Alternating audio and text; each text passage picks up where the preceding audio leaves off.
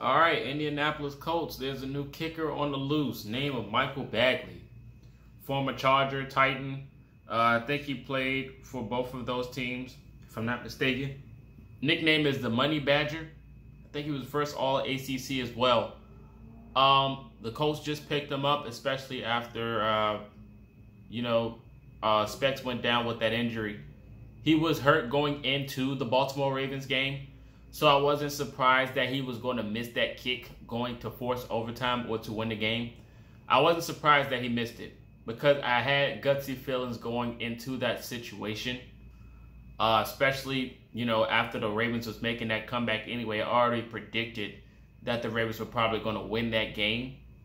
It was just unfortunate that he did miss the kick because it weighed a toll on him, especially him knowing he was hurt and then missing the kick to win just gotta really suck because you know a healthy Specs is going to make that kick. We know that already. So, uh, yeah, Blankenship's down. So we signed Badgley. Uh, you know he's experienced, still young. I think he got a nice little leg on him. Hopefully his nickname lives up to the hype.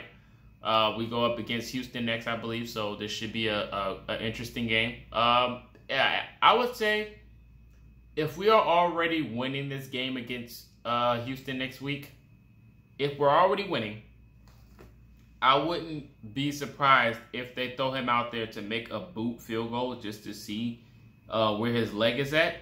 I'm pretty sure they're probably going to test him next week. Uh, but yeah, I'm not I'm not sold on it. Yeah, we do play the Texans next week. Just checking. So, like I said, I'm pretty sure they're probably going to test to see where his leg is at um, next week going up against Houston. I don't think we'll really need him. Uh, but yeah, this is a good signing. Like I said, I wish we would have kept Pineiro because he was solid throughout the uh, throughout training camp and the preseason.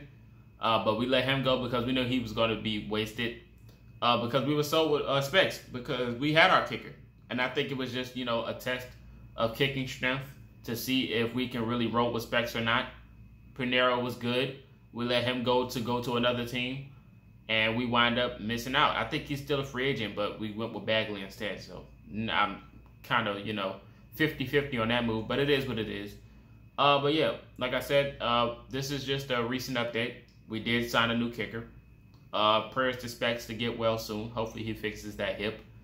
Uh, but yeah, this is a brief update. You guys let me know in the comment section about the move. If you know more about him than I do, please feel free to let me know. This is Marcus, and until next time, you've been Colture Shock.